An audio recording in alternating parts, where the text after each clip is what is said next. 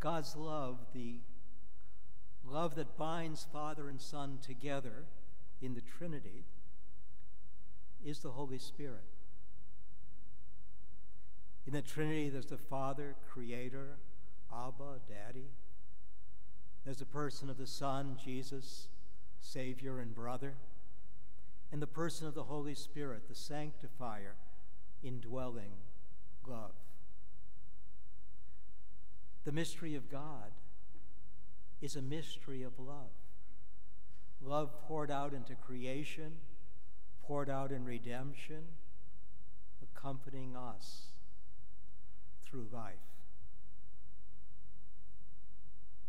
Even though the Trinitarian mystery is intellectually on the limit of our understanding, its reality is experienced wherever we encounter God's love, whether that's within creation, whether it's in the compassion of people, whether it's in goodness or beauty or in the sacraments.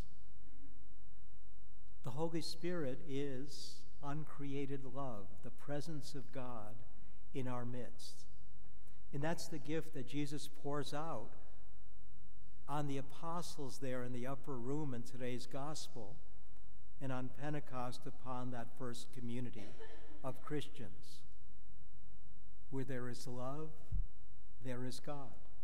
As the first letter of John says, whoever loves is born of God and knows God. And we see in that first Pentecost day that which really is a prophetic happening. Apostles are filled with the Holy Spirit, and they leave their fears behind and they go out and speak to the crowds who've come up to Jerusalem for the Jewish feast of Pentecost. There was a Jewish feast of Pentecost, which is basically a celebration of the coming of the commandments to uh, Moses on Mount Sinai. So you've got all these people from various parts of the Jewish diaspora, not only in the Greco Roman world, but in the Persian world and down into Africa. And they proclaim Christ and his resurrection ecstatically.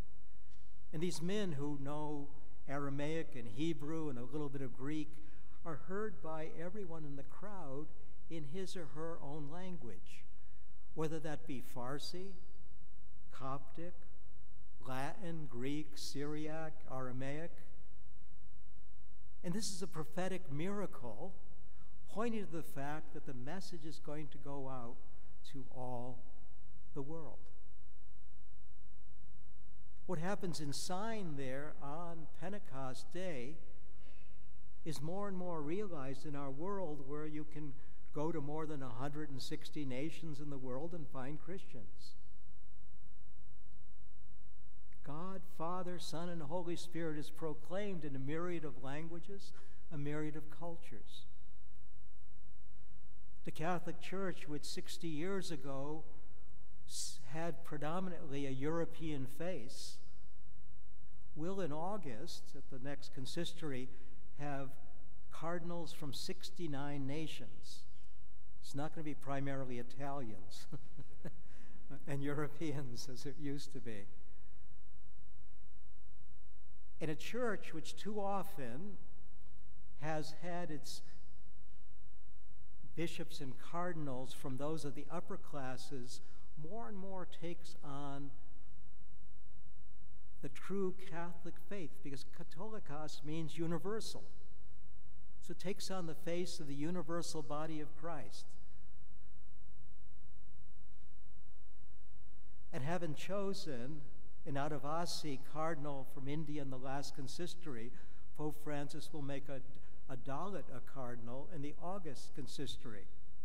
So the two most discriminated against groups in India, the Aboriginal peoples and the Untouchables, will each have a cardinal archbishop among them.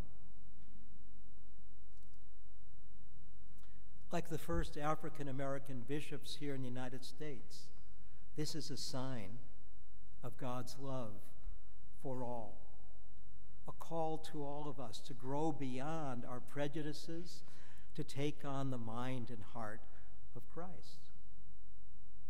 This is what the Holy Spirit does. In the gospel, Jesus says, Peace be with you, and whose sins you forgive are forgiven them. The Holy Spirit is the advocate who urges us to work for peace, whether that's in our families, in our communities, in our church, in our nation, and in the world. This peace can come about only where there's forgiveness. And that's a gift to be prayed for time and time again. Such forgiveness is the work of the Holy Spirit. The Holy Spirit brings a person from a thirst for revenge and an eye for an eye and a tooth for a tooth to Jesus on the cross, who cries out, Father, forgive them. They know not what they are doing. Every evildoer does not fully know the e- that the evil he or she is doing is a contradiction to what he or she was created for. We're created for love and out of love. And this alone satisfies the restless heart. We need the Holy Spirit to convert us more and more into persons of service, persons of love, persons ready to manifest the Spirit for the common good. So on this Pentecost, may the Holy Spirit, the Spirit of love, the Spirit who advocates for those on the margins, those forgotten, may the Spirit transform us more and more into the body of Christ in the world, working to break down the walls of hatred and neglect, bring about healing and reconciliation that we might find that our true destiny is in love. I want to end with a poem of a friend of mine, uh, Brenda McLaughlin, a teacher and, and a friend of Ignatian spirituality. It's called Lessons in Grace.